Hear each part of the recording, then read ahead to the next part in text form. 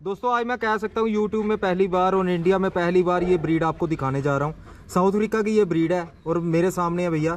भैया आपका नाम? मेरा नाम नीतीश डबास से भैया। मैं दिल्ली से रहने वाला हूँ प्रॉपर और रोडेशन टाइप पर मैं बारह तेरह साल से रख रहा हूँ तो भैया क्या ब्रीड है ये? ये साउथ अफ्रीका ब्रीड है भैया। लोन हंडी के लिए यूज़ होती है साउथ अफ्रीका में। अच्छा। उनकी कमर पे उल्टे बाल होते हैं। मार्क आपको मैं खड़ा करके दिखाऊँगा जैसे दोस्तों ये मार्क है इनका। ये देखिए ये मार्क है। ये बाल थोड़े से उल्टे होते हैं। इस कारण इनको रिच बैक बोलते हैं। ये देखिए ये मार्क है इनका। और हाइट इसकी मैं कह सकता हूँ ग्रेडन ग्रेडन से थोड़ी कम है। Thirty inches almost thirty inch twenty nine thirty inches के करीब मेल की हाइट रहती है और female twenty six to twenty seven inches रहता है। तो बेसिकली ये ब्रीड किस कारण यूज़ होती है? साउथ अफ्रीकन लोन हैंड के लिए यूज़ होती थी। काफ़ी रफ एंड टफ ब्रीड है लोन के लिए। चार पाँच लोग मिलकर शेर का शिकार करने के लिए यूज़ होते हैं साउथ अफ्रीका में। मतलब पाँच डॉग ये मिलके शेर का शिकार कर लेते हैं ऐसा है लेकिन कोई वीडियो नहीं है इसकी कि इन्होंने शिकार किया लेकिन दिखाया जाता है ऐसा फेसबुक और हर एक जगह पे यूट्यूब वगैरह पे। लेकिन कोई शिकार करते हुए वीडियो नहीं फ़ोटोज़ हैं अच्छा फ़ोटोज़ हैं। फ़ोटोज़ हैं। तो शेर का शिकार करना क्यों? मतलब किस पे यूज़ होते थे कि उनको कुछ या तो शेर आते होंगे तो उसके सिक्योरिटी पर्पज से रखते थे डॉग्स के जैसे बेड़े बकरी हाँ, वगैरह। वैसे उनके लिए सेफ्टी के लिए। तो कैसी ब्रीड लगी है आपको? ये काफ़ी सुपर ब्रीड है मैं लास्ट तेरह साल से रख रहा हूँ इस बैग ये एक तो रफ एंड टफ ब्रीड है इनमें जल्दी से कोई बीमारी नहीं आती। अब दिल्ली का टेम्परेचर आपको पता है फिफ्टी डिग्री तक जाता है और सर्दियों में पाँच डिग्री भी जाता है। इनको कोई फ़र्क नहीं पड़ता कैसे टेम्परेचर में रखो ठंडे में गर्मी में। और एथलेटिक ब्रीड मतलब इनमें बीमारी बहुत कम आती है। जैसे हमारे जर्मन शेफर्ड है काफ़ी ब्रीड अच्छा मतलब पचास डिग्री टेम्परेचर में भी रख इसको कुछ भी कुछ नहीं होता। रशिया में भी मैंने दिया है रशिया में भी सर्वाइव करें। माइनस डिग्री होता है आपको पता पड़ता है रशिया में। तो वहाँ पे भी काफ़ी अच्छा है इनका। तो कोई भी टेम्परेचर को खाने में कुछ भी दो ना कोई ये है कि वो खाना चाहिए हमें वो चाहिए जैसे काफ़ी डॉग नखरे कर जाते हैं कि हमें सिर्फ़ खाने में नॉन वेज ही चाहिए। नहीं।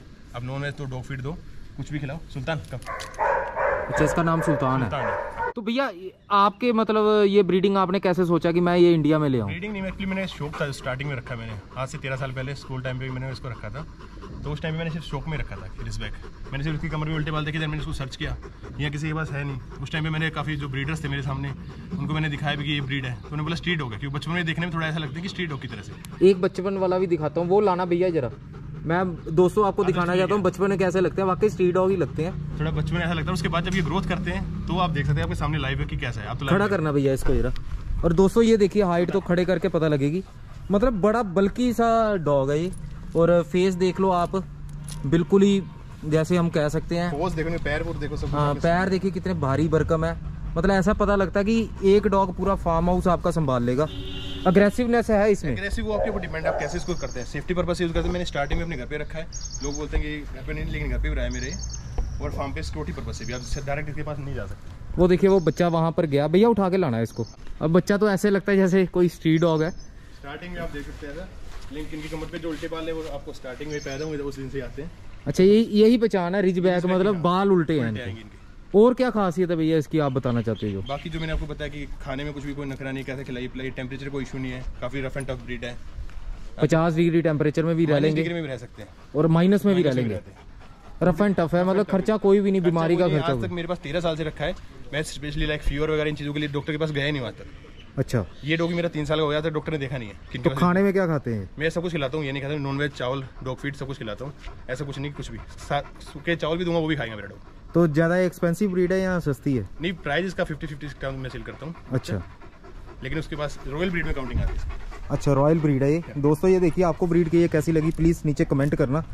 और ये देख लीजिए रिज बैक दो अडल्ट फीमेल है यहाँ पे और दो मेल है। एक मेरा दस साल का मेल है ग्यारह साल का मेल भी मेरे पास। तो एज लाइफ स्पैन कितना होता है लाइफ इनका ग्यारह बारह साल की क्योंकि मेरी फीमेल एक्सपायर हुई थी। बारह साल की। हाँ मैं टोटल तेरह साल हो गए। रखते हो तो बारह एक साल पहले एक्सपायर हुई तो बारह साल के हो गए एक्सपायर हुई दोस्तों आपको ये डॉग कैसा लग रहा है? प्लीज़ कमेंट कीजिए। कलर इसमें भैया कोई और भी आता है? लाइट एंड डार्क आता है। एक मेरे पास रेड कलर में आया इस बार। लेकिन उस, उसको दिखाने में लोग सोचेंगे डोबरमैन से मिक्स है लेकिन वो प्रॉपर से आया है। लाइए वो भी लाइए। कलर काले वाला कुत्ता लेके दोस्तों कलर मैं आपको दिखाता हूँ। वैसे कितनी तरह के कलर आते हैं इसके? इसमें वैसे तो यही मेन कलर तो यही है। मेन कलर डार्क हो जाता है। लाइट आएगा किसी में किसी में डार्क आएगा किसी में वो डार्क आ जाएगा। फेस पे मास्क आएगा किसी में नहीं आएगा।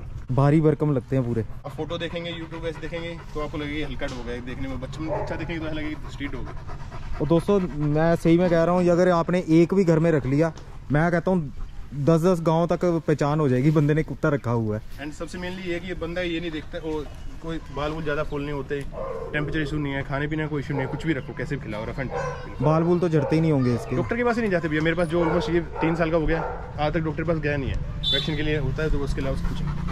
मतलब हम कह सकते हैं कि डिसीज फ्री डॉग है ये। थर्टी टू डेक्स एग खा चुका है ये डॉग एक बार में एक रात को। अच्छा बत्तीस अंडे खा लिए और हुआ कुछ? इसमें दो बार वोमिटिंग और एक बार लूज मैंने मेडिसिन भी नहीं दी इसको। नेक्स्ट डे बिल्कुल परफेक्ट चलो दोस्तों अगर आपको रफ एंड टफ ब्रीड चाहिए तो ये देख लीजिए रिज बैक भी आ गई है हमारे यूट्यूब कलेक्शन में और ये देख लीजिए इसका बच्चा घूम रहा है वो भी बड़ी मस्ती से घूम रहा है। हैं फुर्तीले डॉग है ये? फुर्तीली डॉग है। सुस्ती वाला काम नहीं है। नहीं है। अभी इनके सारे डॉग हम इकट्ठे करके भी दिखाते हैं दोनों फीमेल इसको अंदर भेज देते हैं दो फीमेल मंगाते हैं।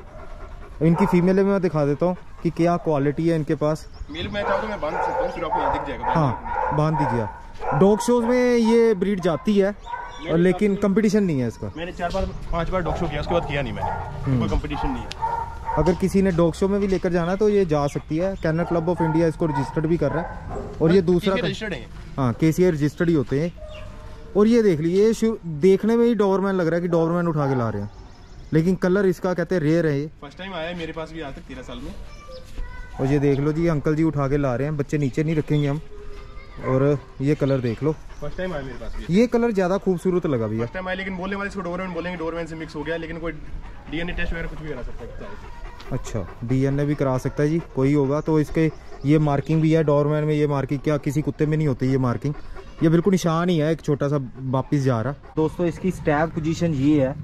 मतलब इसकी टेल नीचे आती है, जैसे किसी और डॉग भी आती है, राजा पलम की।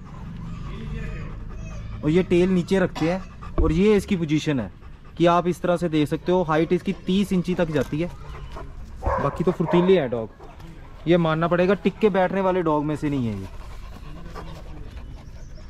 फुर्ती वाले डॉग हैं। मज़ा आ गया इस डॉग को देख के। अभी इनकी फीमेल भी मैं दिखाता हूँ क्योंकि फीमेलों से क्वालिटी पता लग जाती है कैनल की क्वालिटी क्या है। और ये इम्पोर्ट है साउथ अफ्रीका से रिज बैक और ये भैया की फीमेल आ गई। फीमेल की क्वालिटी आप देख सकते हो कि कैसी क्वालिटी है। ये बच्चा इसी का या किसी और का दूसरी फीमेल का था। मेरे पास एक फीमेल और थी मेरे भैया के पास मैंने सेंड की है। ये भी अच्छा। मेरी कंसीव फीमेल है। तो टोटल भैया कितने बच्चे लीटर साइज़ क्या होता है इसका? मेरे फीमेल्स ने एक बार तो फीमेल एक भी दी और बारह भी दिए मेरे पास। अच्छा बारह बच्चे दे देते हैं। हाँ, मेरे पास जो बड़ी वाली फीमेल थी उसने बारह बच्चे भी दिए एक बार। अच्छा। उसने एक बार ने एक भी दिया है। ठीक है ये प्रेग्नेंट फीमेल है इनकी। और एक फीमेल और है वो निकाल दे। हाँ वो भी दिखा दो आप। लाल वाली निकाल दी। तो टोटल इंडिया में आप कह सकते हो कि साउथ के अलावा नॉर्दर्न इंडिया में कितने डॉग होंगे? नॉर्थ इंडिया में रिजबैक मैंने ब्रीड किया है तो मेरी ब्रीडिंग के दो बच्चे हैं जो मैंने दिल्ली और पंजाब में भी गए हैं दो चार। और भैया का ये कैनल भी है इसी गाँव में ये पीछे भी कैनल है मैं कैनल भी दिखा दूँगा आपको। और ये देख लीजिए रिजबैक आपको ये ब्रीड कैसी लगी? ये ज़रूर कमेंट करना ताकि हमें भी पता लगे कि ऐसी ब्रीड को प्रमोट करना चाहिए या नहीं करना चाहिए। कमेंट आएँगे तो आगे फिर से लाएँगे और इसका भी देख लीजिए हाँ पहचान यही है। है। कमर पे उल्टे ये देख लीजिए कमर पर उल्टे बाल। और दोस्तों ये आ गई इनकी दूसरी फीमेल। ये भी एज कितनी है भैया इसकी? आप भैया जज कीजिए दोनों फीमेल की एज कितनी हुई है आप ये अकॉर्डिंग आप तो काफ़ी टाइम से देखते हैं खुद ही बताइए। ढाई तीन साल तो होगी। ये फाइव एंड हाफ़ वो सिक्स एंड हाफ़ ये साढ़े पाँच साल की है।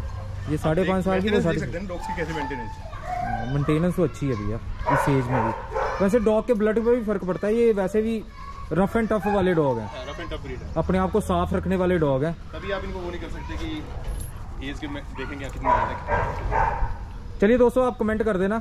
भैया का नंबर मैं आपको नीचे दे दूँगा। आप कॉल कर लेना। रिज बैक के लिए आपको पता लग जाएगा। बाकी आप गूगल में सर्च करके अपनी नॉलेज भी हमें दे सकते हो। ये कैनल है दिल्ली में। आप आ सकते हो यहाँ पर। कैनल भी इनका देखिए बच्चे देखिए मदर फादर देखिए फिर आपको पता लगेगा। कलर इसमें दो दिखाए हैं भैया ने शायद वो ज़्यादा होते होंगे। नहीं मेन कलर ये होता है लाइट एंड डार्क में। वो रेयर कलर में पहली बार आया मेरे पास अच्छा पहली बार आया। आप कह रहे थे ब्लू भी आ जाता है इसमें? नहीं ब्लू नहीं आता। ब्लू नहीं आता। अभी वही पहली बार वो भी कम है। नोज़ आता है लीवर नोज़ आ जाता है। अच्छा। लियो नोज़ वाला पपी हो जाता है। उसमें आइज़ डिफरेंस आती है। लियो नोज़ के अकॉर्डिंग मेरे पास पहले बच्चे आए हैं। वो थोड़ा कॉस्टली रहता है बच्चा। लिवर नोज़ उसके साथ आइज़ का कलर भी डिफरेंट आता है। ठीक है भैया। थैंक यू भैया आपने टाइम दिया और ये अपने अच्छे भले रिज बैग दिखाए। इसका शॉट भी डालते हैं, मज़ा आएगा लोगों को। Thank you bye bye comment कर देना प्लीज़